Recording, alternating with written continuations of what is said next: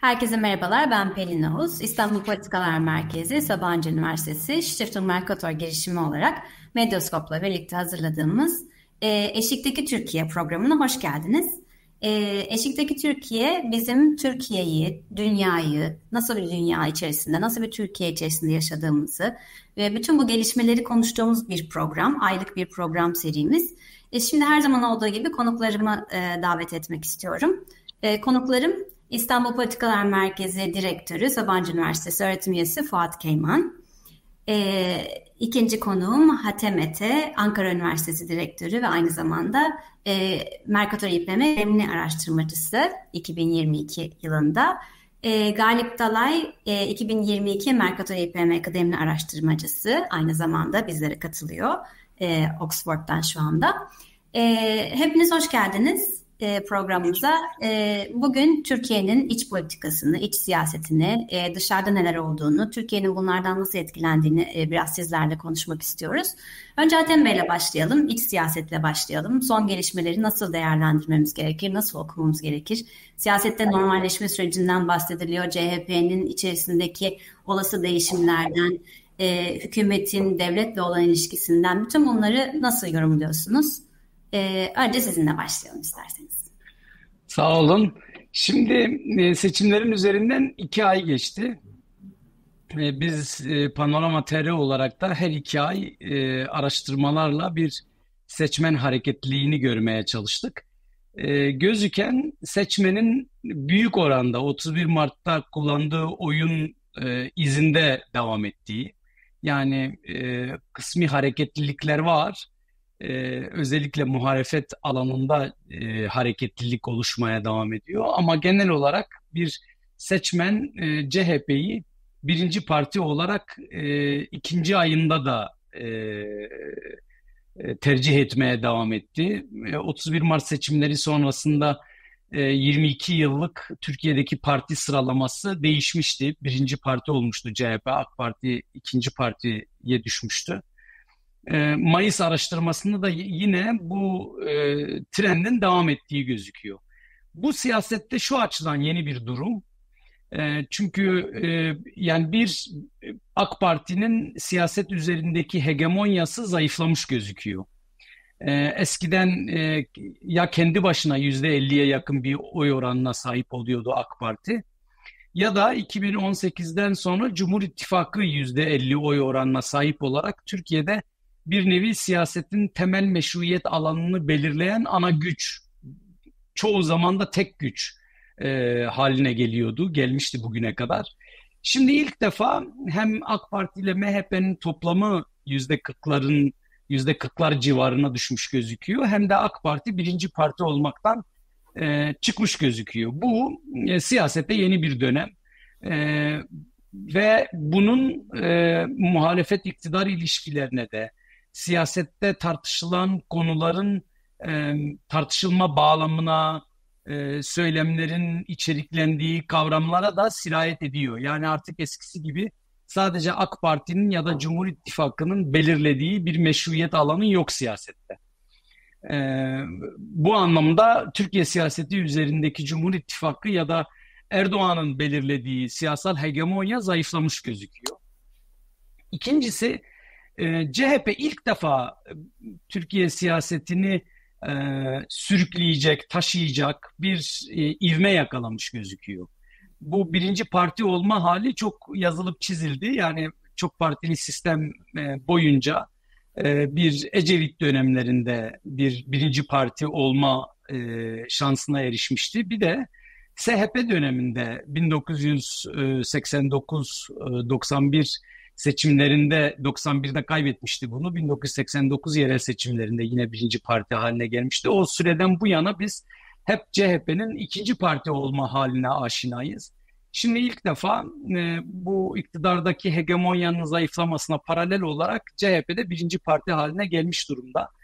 Bunu e, siyasette ön plana çıkardığı kavramlar, hareketlilikler, herhangi bir meseleyi tartışma e, e, tarzında da sirayet ediyor. Yani CHP'nin yeni liderliği de başta Özgür Özel ve e, belediye baş, güçlü belediye başkanları olmak üzere e, AK Parti'nin ya da Cumhur İttifakı'nın belirlediği e, siyasal meşruiyet alanını kendileri için bir kırmızı çizgi olarak görmüyorlar artık. Yani e, Özgür Özel'in hem HDP ile çok daha görünür ve resmi bir e, iletişim kurması, hem e, Demirtaş'ı cezaevinde ziyaret etme e, durumu, e, hem Hakkari Van e, süreçlerinde gösterdikleri proaktif e, net tutum, neredeyse bütün bu muhalefet alanında yaşanan son 10 yıllık e, e, ihlallere, hukukla ilgili, yargılamalarla ilgili sorunların tek sözcüsü olarak Erdoğan'la müzakere yürütmeye yönelik bütün bu tutumlar CHP'nin de artık kendisine bu birinci parti olmayı gerektiren bir özgüvenle hareket ettiğini, bu özgüven doğrultusunda bir siyaset yürüttüğünü gösteriyor. Bunun e, toplumda da bu şekilde algılandığını gözlemliyoruz e, yaptığımız kamuoyu araştırmalarında. Yani toplum e, Mart ayından bu yana geçen iki aylık sürede hem AK Parti'nin e, performansından memnun değil, Cumhurbaşkanı Erdoğan'ın performansında görünür bir iyileşme gözükmüyor. Yani en azından eski konumunu sürdürüyor. Hem e, seçimlerden gereken dersleri çıkarmadığı kanaati yaygınlaşıyor. Tersinden CHP'de de hem Özgür Özel'in başarı algısı neredeyse ikiye katlanmış durumda. Yani biz ilk olarak Aralık 2023'te ölçmüştük. Aralık 2023'te %20'ler düzeyinde bir başarı algısı vardı Özgür Özel'in. Şimdi e, bu ay yeniden ölçtüğümüzde bunu iki katına çıkardığını e, gözlemledik ve mevcut siyasi liderler arasında başarı algısı, başarısızlık algısının önünde olan tek lider, e, tek genel başkan gibi gözüküyor. Benzer şekilde CHP'nin de e, bu krediyi, seçim sonrası krediyi doğru kullanacağı, bu başarısını sürdüreceğine yönelik bir algı da var toplumda. Şimdi bu iki aylık fotoğraf ve bu iki aylık fotoğrafın seçim sonrası e, dönemden bu yana e, nasıl bir yol izlediğinin hikayesi. Ama önümüzdeki dönemde bir sürü şeye de gebe Türkiye siyaseti. Yani AK Parti bugüne kadar bir yol bulamamış gözüküyor henüz bu krizine. Önümüzdeki dönemde bir e, bir şeyler yapmak zorunda hissediyor. E, şimdi ya, yaza giriyor siyaset, bir tatil iklimi oluşacak. Ee, ama hem kongre sürecinde hem AK Parti ile MHP arasındaki ilişkilerde hem AK Parti ile CHP arasındaki bu normalleşme ya da yumuşama süreçlerinde siyasete ne gibi yeni çıktılar çıkacağını görmüyoruz henüz, bilmiyoruz. Yani belli bazı tartışmalarla bu meselenin böyle suhuletle devam etmeyeceğine yönelik bir algı var. Benim gözlemlediğim e, Cumhurbaşkanı Erdoğan cephesinde e, meseleyi basitçe e, bir ekonomik krizle ilişkilendirip ekonomik krizin çözümüne kadar majör bir siyaset değişikliği yapmayıp böyle diyalogla, ilişkilerle bir değişim algısı havası vererek süreci 2026'nın sonlarına taşıma gibi bir eğilim var. Ama siyaset e, bu imkanı sağlamayabilir, bu imkanı vermeyebilir. Çünkü e, evet yani e, daha konforlu bir alan mevcut yönetim e, denklemini bozmadan ekonomik e, düzelmelerle bu meseleyi e, böyle palyatif çözümlerle kamuoyunda önünde bir şey yapıldığı algısı e, sağlayarak 2026'nın sonunda bir tercihte bulunmak. Yani sistem değişikliği ise, anayasanın içeriklendirilmesi ise, CHP ile mi, MHP ile mi yola devam edileceği ise ya da her bir partinin ittifak haritasını yeni baştan kurgulaması gibi böyle radikal kararlar, radikal e, hem söylem hem aktör hem siyaset kararlarını 2026'nın sonrasına bırakma AK Parti açısından, Cumhurbaşkanı Erdoğan açısından daha konforlu gibi gözüküyor. Fakat dün belki şimdi ikinci turda biraz ondan bahsederiz. Yani önümüzdeki dönemde ne olabilirle ilgili olarak. Dün Devlet Bahçeli'nin yaptığı yazılı açıklama, İçişleri Bakanlığı'nda e, AK Parti-MHP ilişkisini geren bir sürü davanın konuşuluyor olması, AK Parti ile CHP arasındaki ilişkilerdeki normalleşmenin hem külliyede hem MHP cenahında birçok kesimi rahatsız etmesi gibi birçok dinamik Erdoğan'ın 2026'nın sonuna kadar bu konforlu alanı bulamama ihtimalini de arttırıyor. Dolayısıyla bugünkü fotoğraf CHP'nin doğru bir siyaset rotasına yöneldiği ve bunu içeriklendirmeye çalıştığı, bunun toplumdan da genel bir kabul ve olumlu bir algı gördüğü AK Parti cenahında henüz bir e, arayıştan çözüme e, geçilemediği bir e, ciddi toplumun beklediği bir siyaset değişikliğinin henüz e, gerçekleşmediği ve mümkün mertebede bunu erteleme eğiliminin daha fazla ön plana çıktığı. Fakat bu iki farklı eğilimlerin de siyasette bir sürü hareketliliğe yol açması ve e, önümüzdeki bir, bir buçuk e, yıllık süreçte de siyasetin bu haliyle rahat bırakılmayacağına yönelik izlenimler daha doğru gibi gözüküyor. İlk iki ayın fotoğrafını böyle yorumlayabilirim. Çok teşekkürler. İkinci turda da birazcık daha devam edeceğiz.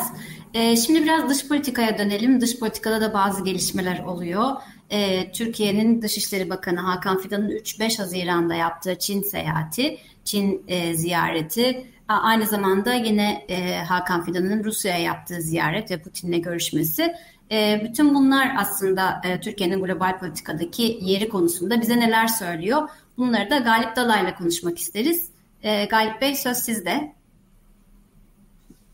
Ee, teşekkür ederim. Ee, bu Çin gezisi son dönemlerdeki en önemli gezilerden bir tanesiydi. Çünkü nihayetinde bu büyük güçler rekabetinde iki ülkenin Türkiye ile ilişkisi aynı zamanda Türkiye uluslararası sistemdeki yerini ve Türkiye'nin işte e, Batı ile ilişkilerini derin bir şekilde etkileme potansiyeline sahip. Bunun bir tanesi Rusya'ydı ki daha önce Türkiye-Batı ilişkilerinde en büyük krizlerden bazılarını Rusya ile ilişkiler üzerinden yaşadı.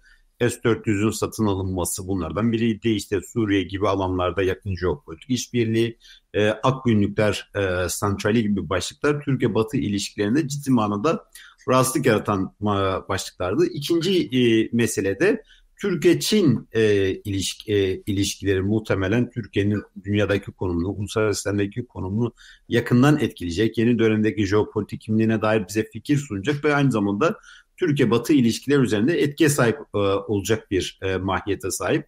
Bu açıdan e, Dışişleri Bakanı e, Hakan Fidan'ın e, Çin'e yaptığı e, ziyaret e, e, son derece önemliydi ve bu ziyaretin çıktıları da muhtemelen daha uzun bir süre tartışılmaya devam edecek gibi e, gözüküyor. Peki şimdi bu ziyarette neyi hani e, neye dikkat etmeliyiz? Buradaki önemli gördüğüm başlıklar ne?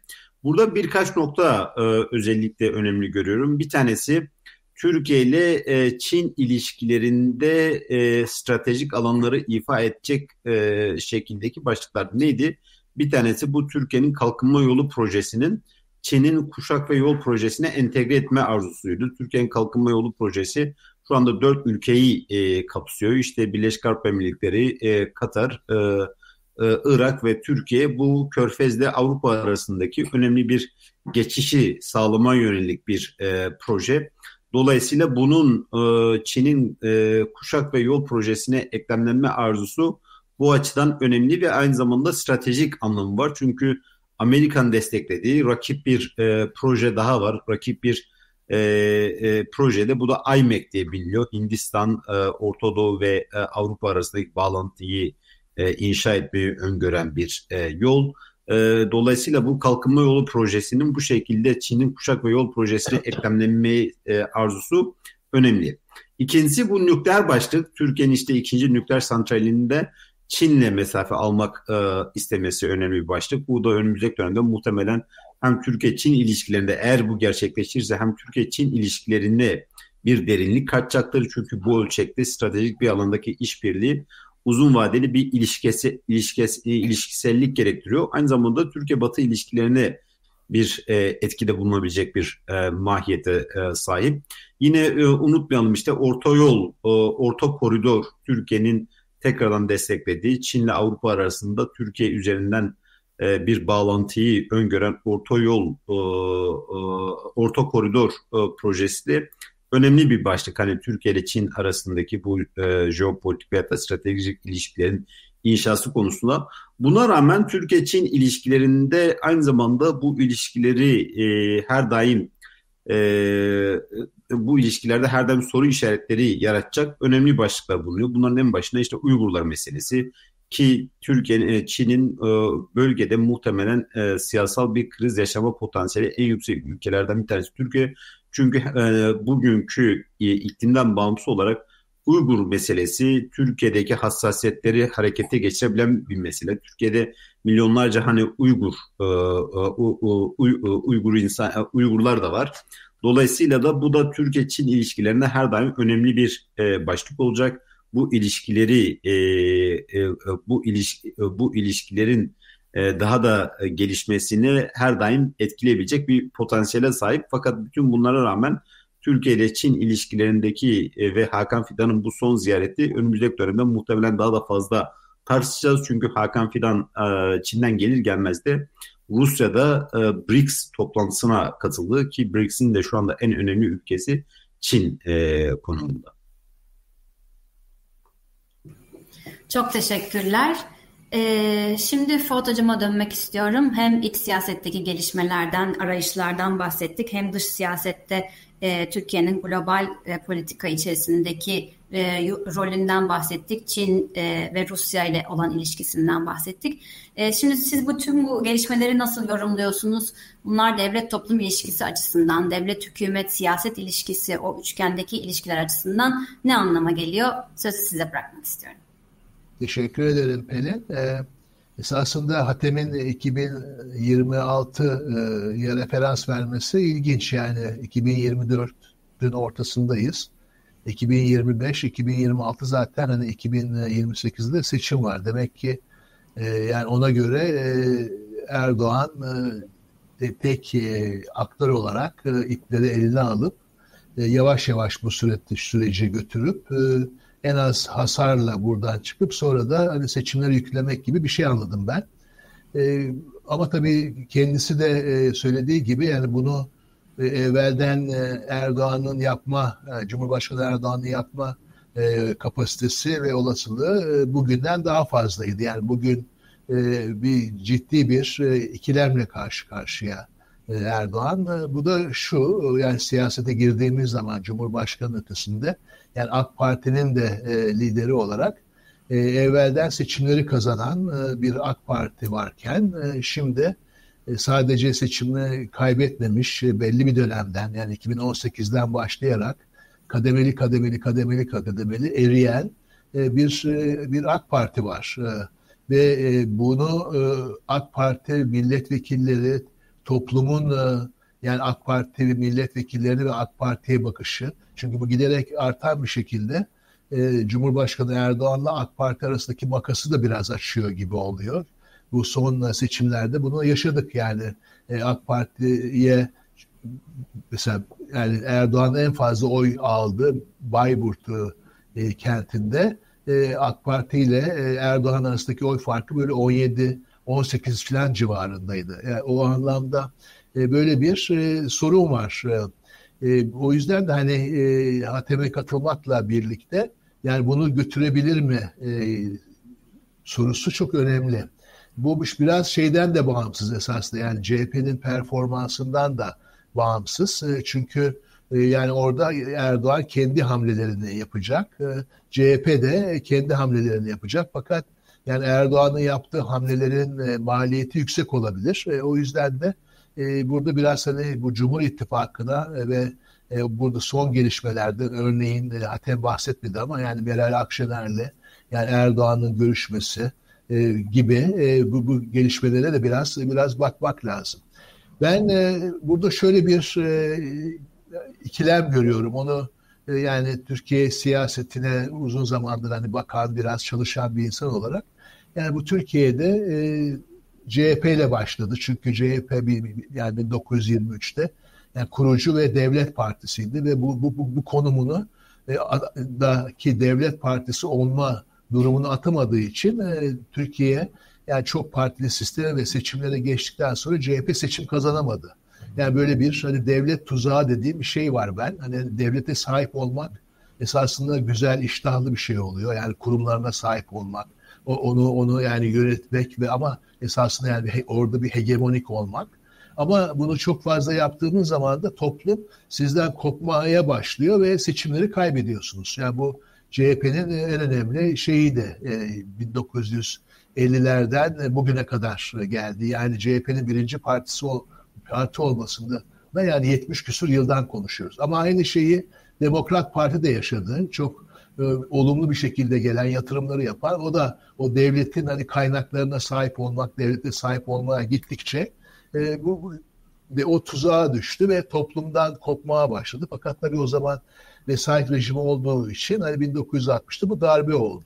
Arkasından biz bunu hani Özal'da görüyoruz. Yani ANAP ilk başta 1983-87 dönemini reformlarla götürürken ondan sonra böyle bir hani devlet reform ilişkisi, devlete sahip olmakla toplumla bağlılığını güçlendirmek arasında bir ikilem çıkıyor.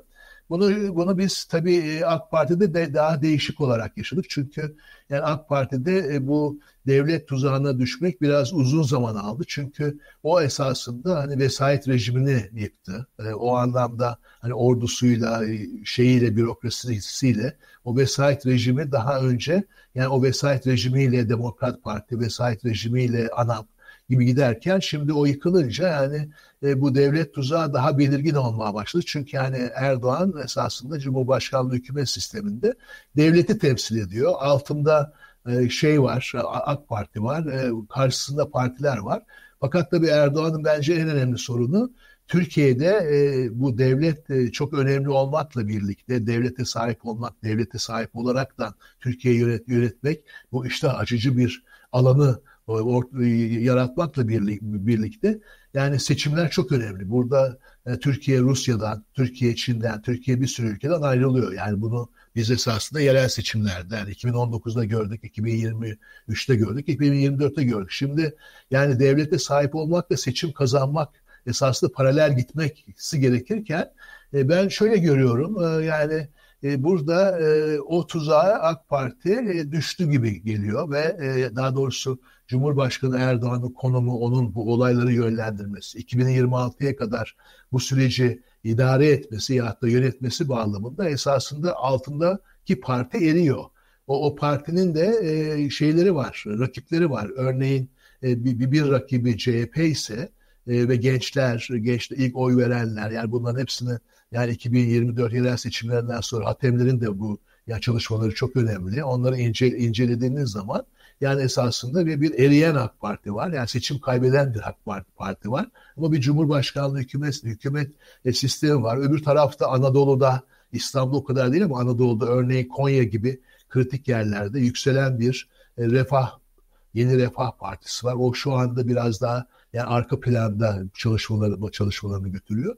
O yüzden de e, ben e, yani Erdoğan'ın en e, önemli e, meydan okuma temelindeki riskinin e, bu süreci e, altındaki parti erirken e, döndüremeyeceği e, olur. O, tabii döndüremeyince o zaman e, devlete daha da fazla e, yak, yaklaşmış oluyorsunuz. İşte ben mesela onu yani Erdoğan, Meral Akşener gibi e, yani o, o, o tür toplantılar, Devlet Bahçeli bunların hepsi esası Türkiye siyasetinde devleti toplumdan önce gören bir şeydir. Hani böyle hani denir e, edebali hani insanı yaşat ki devlet yaşasın diye onu terse çevirip hani devleti yaşat ki yani onunla birlikte hani e, makul insanlar, makbul insanlar yaşasın gibi böyle bir hani devlet merkezci, devlet temelinde Türkiye'yi yönetmekte maalesef yani bu 2002'de başlayan AK Parti sürecinin bugün geldiği noktada yani bu tamamıyla devletin içine girmiş ve devletin içinden bu süreçleri götürmeye çalışan bir bir bir bir e, Cumhurbaşkanı Erdoğan ve e, AK Parti var. E, ama maalesef AK Parti eriyor. Burada tabii Hatem benden daha iyi bilgilere sahip çünkü onlar araştırmalarını yapıyorlar ama ben yani kendi daha global daha yani daha makro görüşümde yani AK Parti'nin erimesini e, devam edeceğini düşünüyorum. O yüzden de hani bu 2026'ya geldiğimiz zaman e, bu tabii göreceğiz yani tabii şeylerle, araştırmalarla. Yani böyle bir Erdoğan'ın daha da devlete kapanmış ama oradan yönettiği zaman hani seçimleri kazanmada çok zorlanabileceğini düşünüyorum. Çok kısa olarak da hani bir, bir tur daha olursa hani orada bir iki cümleyi söyleyebilirim.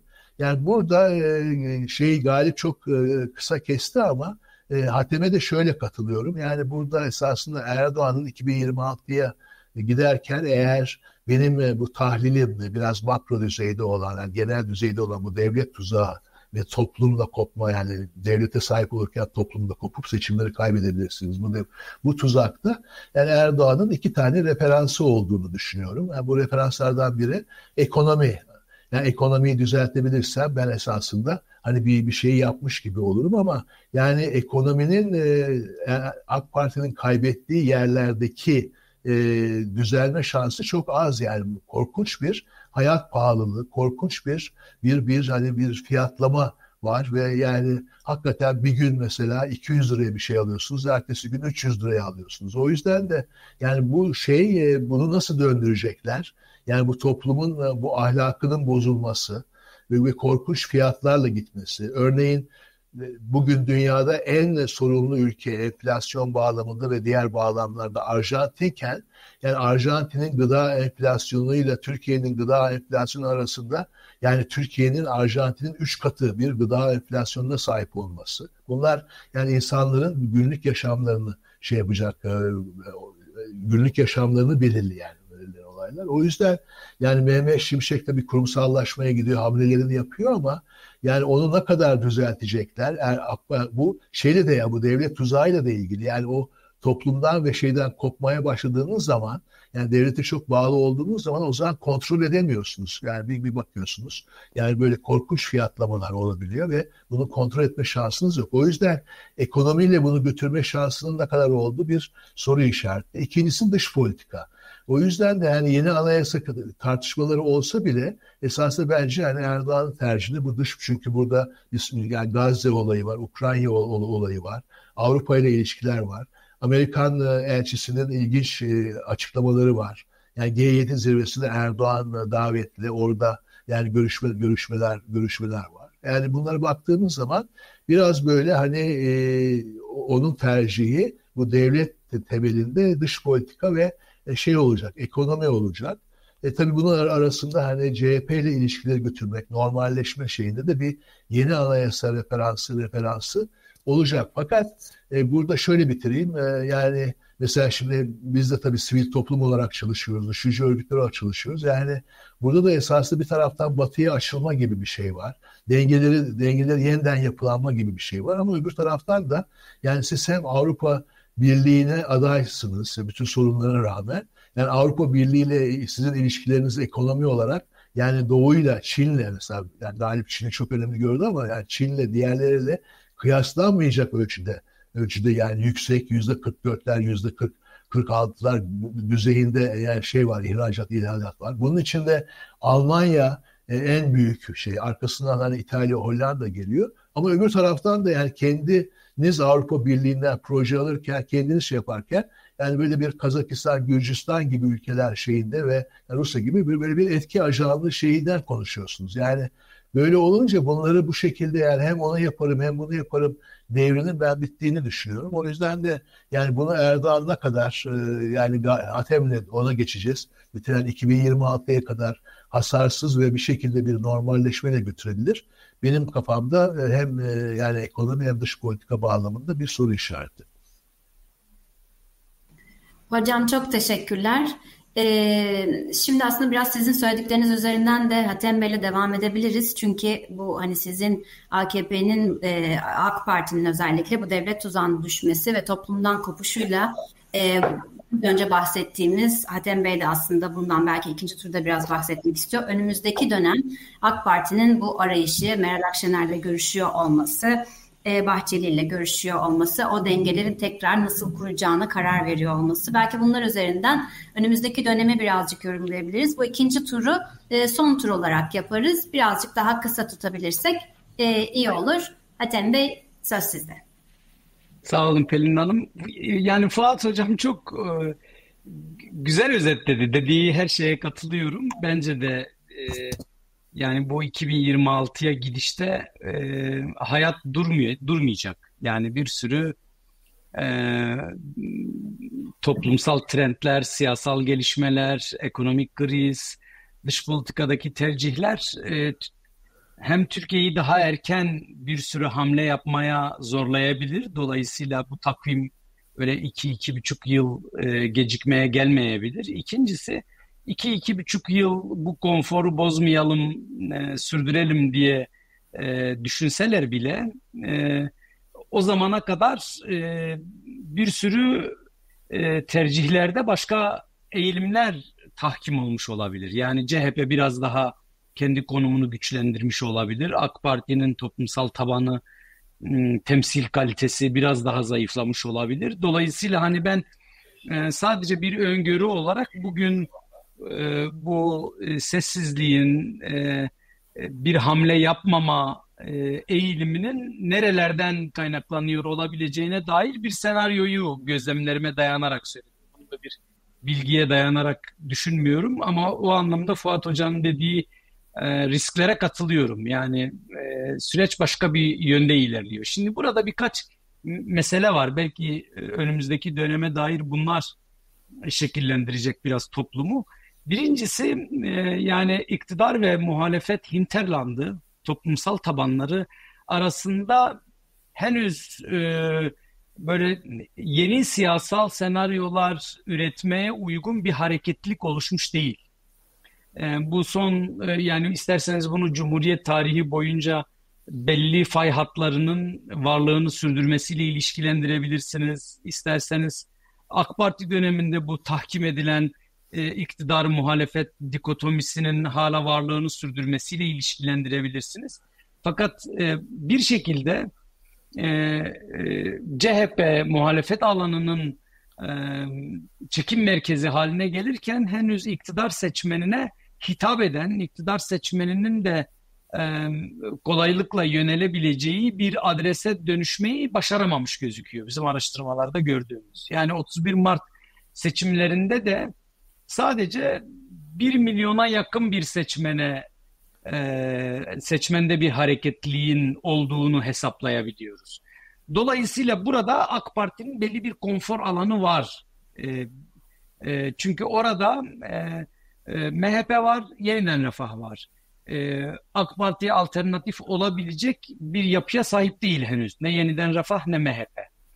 Dolayısıyla AK Parti'nin bir süre daha e, bu süreci zamana yayarak yönetme e, marjı var diye düşünüyorum. Belki e, e, Cumhurbaşkanı Erdoğan'ın da süreci zamana yaymaya yönelik bir planında kendisini rahatlatacak, rahatlatan en önemli unsur bu olabilir. Fakat bu bugün böyle dediğim gibi. Yani önümüzdeki dönemde CHP'nin siyasetinde, söyleminde, aktörlerinde e, yapılacak bazı e, topluma iyi gelecek e, değişiklikler bu bahsettiğimiz e, e, zayıf ve yavaş geçişkenliği güçlendirebilir, hızlandırabilir. E, ama bugünün tablosunda biraz Cumhurbaşkanı Erdoğan'ı cesaretlendirebilecek bir e, seçmen durağanlığı var ve bu seçmen henüz kendisine yeni bir alternatif bulabilmiş değil. E, ikinci bir diğer mevzu şu olabilir. E, yani biraz daha geriye çekilip makro bir şeyle baktığımız zaman aslında e, Cumhur İttifakı'nın esasını oluşturan, bel kemiğini oluşturan bu 15 Temmuz sonrası siyasal iklim, siyasal ihtiyaçlar değişti. Yani Türkiye bu e, beka meselesini gündeme getirdiğinde güvenlik ve istikrar arzını ön plana çıkaran, e, devleti ayakta tutma e, meselesini daha fazla ön plana çıkaran, bunun içinde demokratikleşmeyi, özgürlükleri, hukuku bu yakın tehlikeler dolayısıyla bir kenara bırakma duygusuyla teşekkür ettirdiği bu Cumhur İttifakı ekseninin siyaseti ilk birkaç yıl boyunca özellikle iktidar seçmeni nezdinde de bir meşruiyet e, elde etmişti. Dolayısıyla toplum evet gerçekten böyle bir terkibe ihtiyaç var. Böyle bir siyasal e, kriz durumu var. Bu siyasal kriz durumuna karşı böyle bir siyasal öneriyle yol yürünebilir diye ikna olmuşlardı. Seçimlerde Erdoğan'ın bu kadar rahatlıkla peş peşe zaferler elde etmesini sağlayan da biraz buydu. Fakat artık bunun şeyi bitti. Yani Türkiye'de toplumun da algıları açısından objektif olarak dışarıda baktığınız zaman da somut göstergeler üzerinden de Türkiye 2016'nın Türkiye'si değil artık. Ne böyle ciddi bir güvenlik açığı var, ne böyle ciddi bir beka krizi var, sıkıntısı var, ne de devleti iç ve dış tehditlere karşı ayakta tutma gibi bir kaygının alıcısı var dışarıda. Dolayısıyla bu ittifakın toplumsal dayanakları çözüldü. Bu ittifakı ancak bir araya gelen iki aktörün ya başka bir şey yapamama dolayısıyla içinde bulunduğu bir zorunluluk ya da oluşturdukları ittifa, iktidar konforundan vazgeçememe dürtüsü sürdürmeye yol açabilir. Fakat bunun bir handikapı var. Bu denklem yeni seçimler kazandıramayabilir. 31 Mart seçimleri bunu gösterdi.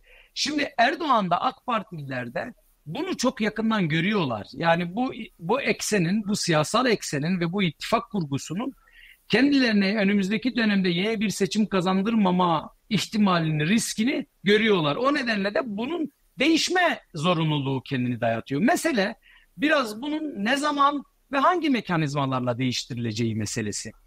Bahçeli de bunu gördüğü için en ufak bir hareketlilikten rahatsız olup res çekiyor. Şimdi normalde e, Erdoğan'la Özel arasındaki diyalog, e, karşılıklı iade ziyaretler henüz yeni bir siyasal süreç üretmiş değil. Somut politikalar da konuşulmuş değil. Sadece Türkiye'de bir siyasal psikolojiyi yumuşatmaya yönelik bir işlev görmüş durumda ve iktidarla muhalefetin ilişkilerini biraz daha normalleştirmeyi sağlıyor. Bana sorarsanız AK Parti'den daha fazla da aslında CHP'nin çıkarına olan bir ilişki yürüyor. Çünkü CHP biraz önce bahsettiğim o kendisini gayrimeşru gören ve dolayısıyla da doğru bir adres olarak algılanmayan seçmen nezdinde doğrudan Cumhurbaşkanı Erdoğan, tarafından meşrulaştırılıyor. Normalleşiyor bu geçişkenlikler. Yani aslında biraz daha şeyden baktığınız zaman eğer e, AK Parti ve e, Erdoğan bu Cumhur İttifakı eksenini sonuna kadar sürdürme kararındaysa CHP bugün yürüttüğü ilişkiler yarın öbür gün kendisine zarar verecek ilişkiler. Ama ancak buradan yeni bir siyaset çıkar mı? Bunun e, yapı taşlarını döşemeye hizmet eder mi? Yarın öbür gün bir anayasa meselesini gündeme getirdiğimizde bu ilişkilerle ben muhalefet tabanını ve muhalefet aktörlerini bu anayasa sürecine razı edebilir miyim? Ve o zamana kadar yeni bir reform sürecine, yeni bir siyaset değişikliğine geçene kadar bir şey yapabilir miyim diye düşünüyorsa bu ilişkilerin bir anlamı var ama şimdi yok. O anlamda da bu Bahçeli bunu gördükçe bir tereddüt oluşturuyor ve res çekiyor. Bu reslerin sonucunda da bir kriz doğuyor. Benim Fuat Hoca'ya bu yönden de e, katılıyorum. Yani AK Parti MHP ilişkisi de e, Erdoğan böyle etrafta süreci yoklamaya devam ettiği sürece e, devam etmeyebilir. Çünkü Bahçeli buna razı olmuyor. Bahçeli bir an önce ya vazgeç bu arayışlardan ya da nerede durarsak onu durmaya devam edelim diye düşünüyor. O çerçevede bugünkü fotoğraf bu ama bu fotoğrafın e, pekala Eylül ayında yeni siyasal gelişmelere de gebe olma ihtimali var. Dolayısıyla kendimizi de fazla bağlamayalım. Biraz uzattım kusura bakmayın. Yok çok teşekkür ederiz. Ee, şimdi Galip Dalay'la devam etmek istiyorum. Ee, son tur için e, sizden Batı ile olan ilişkilerle ilgili belki e, biraz yorum alabilirsem bu Asya Pasifik'te olan Türkiye'nin e, kendi politikasını bulması ile olan ilişkilerini nasıl etkiliyor? Ee, Avrupa Parlamentosu'nda yeni seçimler oldu ve bunun sonuçları konusunda da belki bir e, yorumda bulunmak isteriz. Size bırakıyorum. Bir 3-4 Açıkçası Evet yani iki dakikayla sınırlı tutacağım. Hani Fuat Hocam... Yo yo ben biraz daha kalabilirim. Belki. Ha, tamam. Ee, şimdi Batı ile ilişkilerde bu özellikle anladığım kadarıyla hani Çin ve e, Rusya ile ilişkiler bu yeni dönem nasıl etkileyecek diye hani soruyorsunuz. Şimdi buradaki e, kritik mesele Çin ve Rusya ile ilişkiler değil. Bu ilişkiler stratejik alanlara e, kayıyor mu kaymıyor mu? Bu ilişkiler Türkiye'nin jeopolitik kimliğine dair bir şey söylüyor mu söylemiyor mu? Aksi takdirde ekonomik ilişkiler, enerji e, ilişkileri veyahut da işte hani normal diplomatik ilişkilerin buna bir haler getirmeyeceği zaten Batı'nın da benzeri ilişkilere sahip olduğu aşikar özellikle Çin bağlamında. Hatta Çin meselesinde ben Türkiye ile Avrupa Birliği'nin e, Çin'e bakışının e, Avrupa ile Amerika'nın Çin'e bakışına oranla daha da örtüştüğünü düşünüyorum. Yani Macron'un Çin'e dair söylemleriyle baktığınızda Türkiye'nin Çin'e dair söylemleri arasında epey bir örtüşme de e, görebiliyorsunuz. Burada benim gördüğüm yeni dönemde birkaç nokta var. Şimdi geçendeki BRICS e, toplantısına katılması veya da BRICS üyeliği veya Şangay İşbirliği üyeliği gibi alanlar. E, açıkçası bunlar e, Türkiye-Batı ilişkilerinde belli kriz alanlarını tekrardan doğurmaya e, aday e, süreçler e, olabilirler. Çünkü nihayetinde NATO'nun yeni stratejik konsept e, dokümanının merkezinde iki şey var. Rusya ile sert bir mücadele, Çin'le sistemik e, rekabet. Şimdi bu BRICS'te, Şangay'da özellikle BRICS'te bunlar e, gittikçe daha Çin merkezli bir uluslararası sistem e, tahayyülünün yansımalarını oluşturuyor. Bu sadece Çin merkezli demek tabii ki yani çok fazla iddialı olabilir. Orada Hindistan gibi Batı ile çok yakın güvenlik ilişkilerine sahip aktörler de var. Ama Çin'in e, gittikçe BRICS mesele, e, BRICS'in gittikçe Çin merkezli olması veya da Çin'in oradaki ağırlığının e, daha da hissedilir olması önemli bir e, mesele. Birincisi bu. İkincisi e, tabii ki bu BRICS'e anlam katan e, meselelerden bir tanesi şu BRICS bir e, yeni dünya düzeni projesini temsil etmiyor. BRICS'in asıl anlamı bir söylem olması. Bir projeden ziyade bir söylem hüviyetine sahip.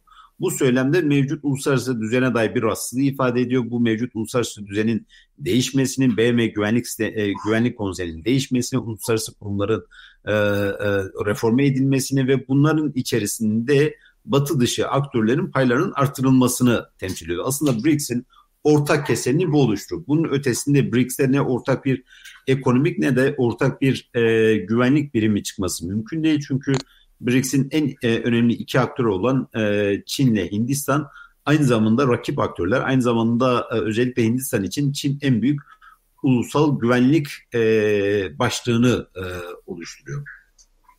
Ve BRICS'in bugün uluslararası ekonomideki payı %31'e ulaştığı bulmuş durumda. Yani BRICS'e üye olan aktörlerin. Bu da önümüzdeki dönemde BRICS'in bir söylem olarak gücünü arttıracağına fakat BRICS'ten bir proje çıkmayacağını da aklında tutmamız lazım. Bugünkü BRICS'te e, İkinci Dünya Savaşı sonrası veyahut da bu e, kolonyal dönemin sona ermesinde gördüğümüz bağlantıslar hareketinden farklı bir yapıya sahip. Çünkü o dönemin bağlantıslar hareketinin neredeyse hepsi e, bu postkolonyal devletlerden oluşuyorlardı. Hiçbir tanesi BM Güvenlik Konseyi üyesi değildi. Uluslararası sisteme e, dair daha esaslı bir vizyon ortaya koyabiliyorlardı. Bu işte Nasır olsun, bu Tito olsun, bu e, Nehru gibi e, işte Hindistan o dönemki başbakanı Nehru gibi aktörler olsun. Bunlar uluslararası sistemin reformuna dair çok benzer politikalar e, güdebiliyorlardı veya da söylemler oluşturabiliyorlardı. Ama bugünkü BRICS'in üyeleri arasında iki tane BM Güvenlik Konseyi üyesi var. E, üç tane de BM Güvenlik Konseyi üyesi olmak isteyen aktörler var. Dolayısıyla burada bu çıkarlar arasındaki farklılaşma burada anlamlı bir proje olmasını, e, anlamlı bir e, vizyon gelişmesini engelleyecektir. Bu nedenle Çin ve Rusya ile yakın ilişkilerin e, artık bugünkü bu dünyanın hani gerektirdiği bir şey. Bu iki e, özellikle Çin'in global ekonomideki rolü bunu daha da gerekli kılacaktır. Fakat bu yapılırken e, buradaki e, bu ilişkiler stratejik alanları mı kayıyor, kaymıyor mu? E, stratejik alanları mı kayıyor mu, kaymıyor mu hadisesi Türkiye'nin uluslararası sistemdeki yeri Türkiye-Batı ilişkilerini de yakından etkileyecek gibi duruyor. Çok teşekkür ederim. Ee, şimdi son sözü Fuat Hoca'ya bırakmak istiyorum. Hocam söz sizde. Yani esasında Galip'in e, söylediklerine katılıyorum ve orada hakikaten çok önemli bir e, saptama var. Yani e, Türkiye'nin e, BRICS'e katılma isteği e, e, ama BRICS'in yapısı yani onun içinde Çin ve Hindistan, e, Çin ve Hindistan e, birbirleri rakip e, ülkeler. E, e, ama e, aynı zamanda da bir hani Türkiye-Hindistan rekabeti var. E, Çin'le olan ilişkiler ve Batı ile olan ilişkiler kadar kurumsal olmuyor. O yüzden de e, bu yani BRICS olayının çıkması biraz bilmiyorum Galip ne der biraz bu hani iki tane e, olguyla ilgili yani orada engeller olmasına rağmen hani orada e, bir hani projeye dönüşme ve bir hani uygulamaya dönme e, de e, sorunları olsa bile yani bu BRICS'in bir yani bir global e, güney diyoruz. Yani giderek artan bir şekilde e, global güney diyoruz. Yani bununla ilgili bir e,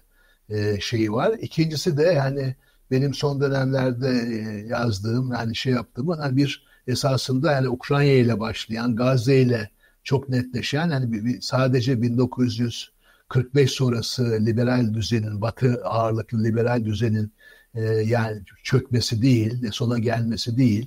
Batı fikrinin de yani demokrasi, insan hakları bağlamında Batı fikrinin de büyük zarar görmesiyle sanki böyle bir hani e, BRICS'le olan ilişki böyle bir hani Batı sonrası dünyaya geçiyoruz gibi bir şey var. Yani o anlamda e, bu yine tekrar diyeyim ben hani önemli gördüm Amerika'nın Ankara Büyükelçisi'nin açıklamalarında şöyle bir şey vardı. Tabii ki biz hani Türkiye'nin BRICS'e üye olmasını istemeyiz ama eğer böyle bir şey olsa bile yani bizim bu hani stratejik olarak ilişkilerimizi çok da fazla etkilemeyebilir diyor. Orada böyle bir hani BRICS tartışmasının biraz bence yani BRICS'in içinin ötesinde e, bu Batı sonrası dünyaya geçişte Türkiye'nin rolü ya da Batı sonrası dünyaya geçişte Amerika bu süreci nasıl görüyor?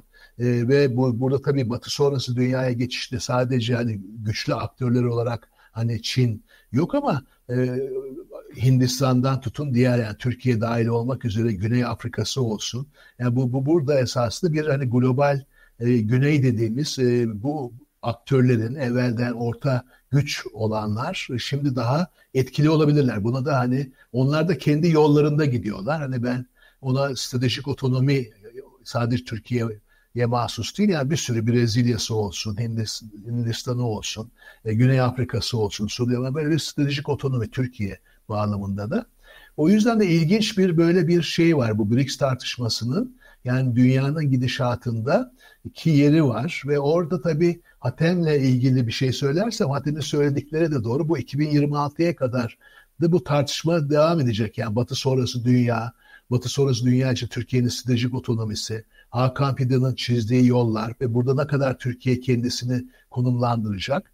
Yani burada tabii e, Güney aktörleri arasında hani Çin ağırlıklı olmasına rağmen Güney aktörleri arasında ortak ilişkiler olabilir. Yani Türkiye ile Hindistan bir araya gelebilir ama yani şu anda benim gördüğüm bayağı ciddi bir hani bir Türkiye-Hindistan rekabeti var. İşte onlar koridor diyorlar. Hani e, o anlamda Türkiye'yi pas geçebilirler ve yani Erdoğan'ın da bence haklı çıkışı var. Yani Türk, Türkiye'yi dışlayan bir koridor olmaz gibi ama yani böyle bir e, çok e, merkezi olarak e, açıklayamadığımız birden fazla şeyin e, olduğu bir dünya içindeyiz. E, o yüzden de e, burada tabii potansiyeller de var Türkiye açısından. Riskler, riskler de var. Şu anda benim hani e, risklerin daha fazla olduğunu düşünüyorum. Ama tabii o direkt olarak hani e, Hatem'in söylemiş olduğu Cumhurbaşkanı Erdoğan'ın bu dış politika ekonomi ilişkisini ne kadar götürebileceğiyle ilgili. Çünkü hakikaten bugünün dünyasında BRICS diyelim, diğerlerini diyelim.